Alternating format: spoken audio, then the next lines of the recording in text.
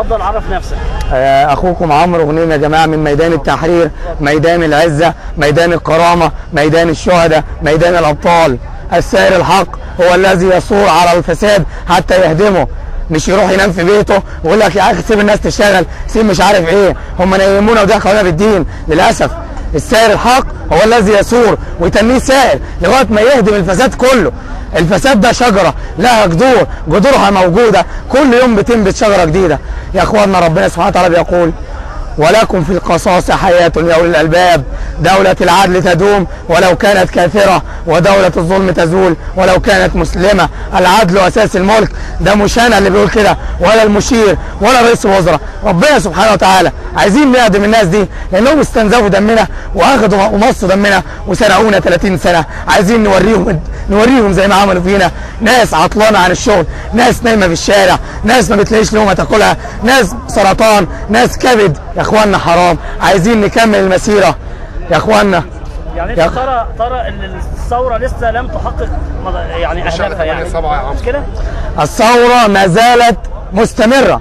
الثورة مستمرة. السائر حق دايما هو الذي يتني السائر لغاية ما يهدم الفساد كله. يا اخوانا اخوانا إحنا قلنا ثورة يعني إيه ثورة؟ يعني نهدم كل الفساد. أنا واحد مهندس جه عشان يهدم عمارة يهدم العمارة ويقول للسكان هبني لكم على الأساس القديم الزبالة.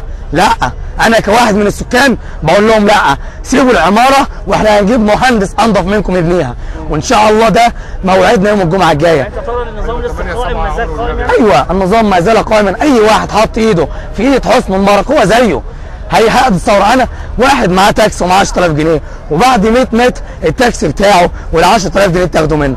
هيتاخدوا منه. إيه اللي بيجيب له الفلوس؟ التاكسي بتاعه. لا ده هيصرف. ال 10000 جنيه بس التاكسي ما اتاخدش منه. مين اللي بيعمل كده؟ الحرامية اللي إحنا حبسناهم. معاهم مليارات الجنيهات.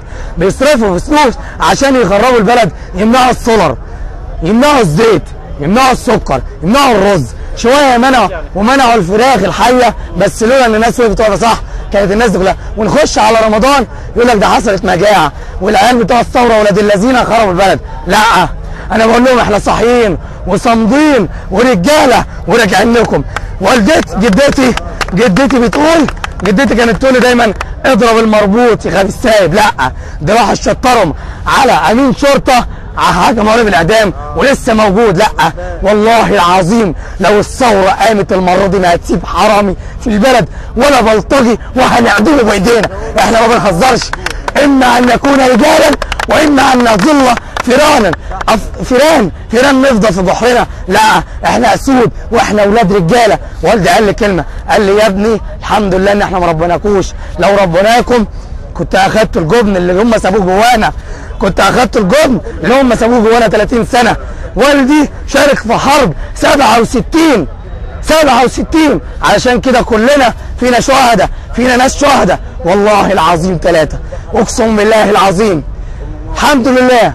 إن إحنا بعد ربنا سبحانه وتعالى هنكمل العدل أساس الملك. العدل أساس الملك فرقونا ائتلافات وأحزاب وإخوان. ونسونا. لك هنعمل دستور قبل الانتخابات ولا انتخابات قبل الدستور. ونسينا إن البطل الحقيقي للثورة هو الشهيد هو الشهيد هو الشهيد الشهيد اللي جاب المشير.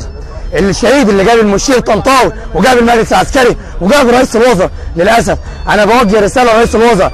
الحق نفسك الحق نفسك يا سياده رئيس الوزراء وانزل الميدان وانزل مع الناس واعتصم معانا. والله هتخش التاريخ من أوسع أبوابه. إذا كان مضغوط عليك إن ينصركم الله إن ينصركم الله. لا غالب لكم والسلام عليكم ورحمة الله.